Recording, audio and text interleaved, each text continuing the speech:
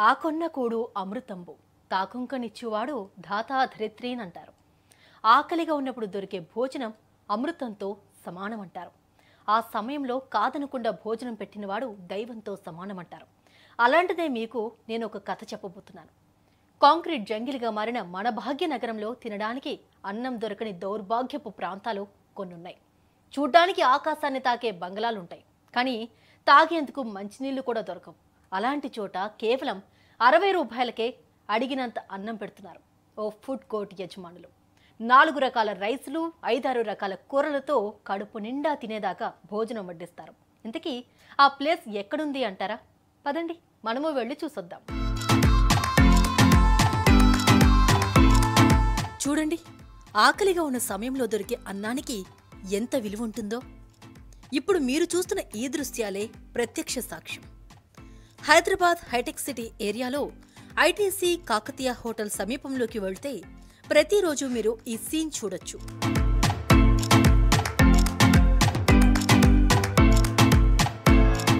ఇక్కడ five star హోటళ్ళు costly రెస్టారెంట్లు మాత్రమే కనిపిస్తాయి.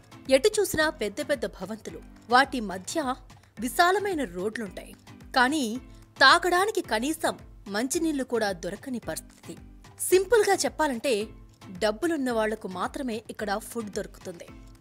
సాధారణ వ్యక్తులు వెళ్తే ఈ ఏరియాలో ఆకలితో కడుపు మార్చుకుని రావాల్సిందే.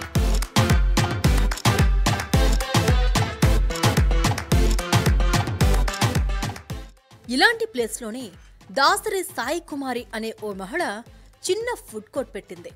మధ్యాహ్నం పన్నెండు గంటల నుంచి సాయంత్రం నాలుగు గంటల వరకు రోడ్డు పక్కనే ఈ ఫుడ్ కోర్ట్ను నడిపిస్తుంది. కేవలం అరవై రూపాయలకే ఇక్కడికి వచ్చే వాళ్ళకు తిన్నంత భోజనం పెడుతుంది.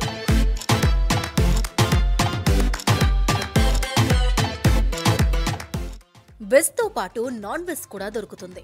వెజ్లో నాలుగైదు కూరలుంటే నాన్ వెజ్లో కనీసం రెండు మూడు వెరైటీలు ఉంటాయి వెజ్ భోజనానికి అరవై రూపాయలు తీసుకుంటే నాన్ వెజ్ భోజనానికి ఎనభై రూపాయలు తీసుకుంటారు. కానీ అడిగినంత భోజనం పెడతారు. అవును. డబ్బులు తీసుకుంటున్నారు. భోజనం పెడుతున్నారు. ఇందులో కొత్తేముంది అనే డౌట్ రావచ్చు మీకు. కానీ అసలు కథ ఇక్కడే ఉంది. అరవై రూపాయలకే పప్పు సాంబార్తో పాటు నాలుగు కూరలు పెట్టేవారు ఎక్కడున్నారు? ఏదో కాకినాడ స్పెషల్కో ఎస్ఆర్ నగర్ మెస్కో వెళ్తే గానీ ఇలాంటి భోజనం దొరకదు. కనీసం ఐదు వందలు ఖర్చు చేస్తే గానీ పచ్చి మంచినీళ్ళు కూడా దొరకని ఈ ప్రాంతంలో కేవలం అరవై రూపాయలకే భోజనం పెడుతున్నారంటే వాళ్ళలో సేవాభావం కూడా ఉన్నట్టే కదా? ఇంట్లో తిన్నట్టే ఉంటుందని చెప్తారు. ఇక్కడ భోజనం చేసేవాళ్ళు. కొందరైతే ఇంట్లో కంటే ఇక్కడే బాగుంటుంది అని చెప్పేవాళ్ళు కూడా ఉన్నారు. ఎందుకంటే వైట్ రైస్తో పాటు tomato rice lemon rice fried rice ఇలా రోజుకో నాలుగైదు రకాల రైస్లు అందుబాటులో ఉంటాయి. ఇక పప్పు సాంబార్ పచ్చడితో పాటు కనీసం నాలుగైదు రకాల కూరలు కూడా ఉంటాయి.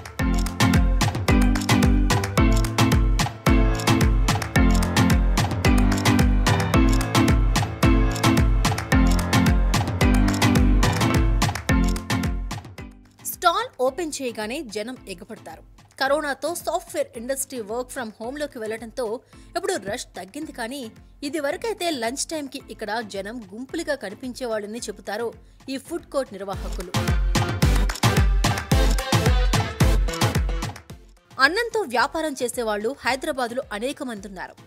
సిటీలోని ఏ హోటల్కి వెళ్ళినా కనీసం ఐదు వందలు బిల్ అవుతుంది. తక్కువలో తక్కువ రెండు మూడు వందలు ఖర్చు చేస్తే గానీ భోజనం దొరకదు. ఇక హైటెక్ సిటీ ఏరియాలో అయితే ఎలాంటి మెస్లు కూడా అందుబాటులో ఉండవు. ఇక్కడ ఉద్యోగాలకు వచ్చేవాళ్ళు చాలా మంది ఇప్పుడు ఈ అరవై రూపాయల భోజనంపైనే ఆధారపడుతున్నారు. తక్కువ లాభాపేక్ష ఎక్కువ సేవాభావం. ఈ రెండు ఫార్ములాలే ఈ అరవై రూపాయల భోజనం ప్లాన్ను సక్సెస్ చేశాయి. అది కూడా కాంక్రీట్ జంగిల్లా కనిపించే సాఫ్ట్వేర్ కంపెనీల బంగ్లాల మధ్య. ఇంత తక్కువ రేటుకు భోజనం దొరకడం అంత సులువేమీ కాదు. వ్యాపారం చేస్తున్నామనే సంతృప్తి కంటే ఆకలితో వచ్చేవారికి అందుబాటు ధరలో కావలసినంత భోజనం పెడుతున్నామనే ఆనందమే ఎక్కువగా ఉంటుందని చెబుతున్నారు ఇక్కడి ఫుడ్ కోర్ట్ నిర్వాహకులు. అరవై రూపాయలకి తిన్నంత భోజనం పెట్టడం నిజంగా ఒక సేవ అనే చెప్పాలి. ఎందుకంటే చిన్న చిన్న రెస్టారెంట్లకు వెళ్ళినా బిల్లు వందల్లో కనిపిస్తుంది. కానీ ఇక్కడ రెస్టారెంట్ల కంటే ఎక్కువ క్వాలిటీ ఉన్న భోజనం అత్యంత తక్కువ ధరకు లభిస్తుంది.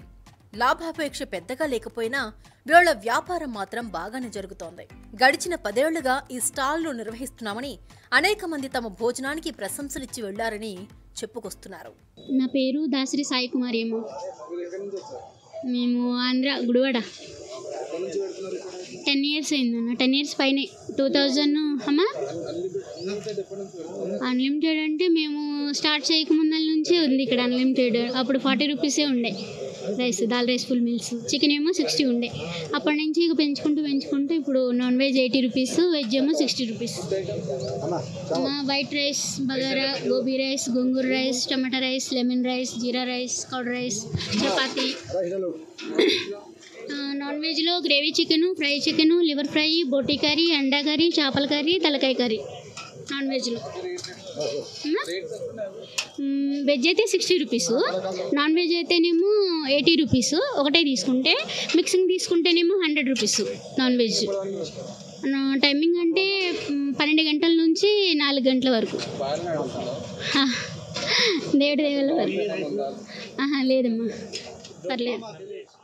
వ్యాపారం కంటే తినేవాళ్ళ ముఖాల్లో కనిపించే సంతోషమే వీళ్ళను ముందుకు నడిపిస్తుంది. అందుకేనేమో ఇంత పెద్ద సిటీలో వీళ్ళు ఎవరూ ఊహించినంత ఫేమస్ అయ్యారు.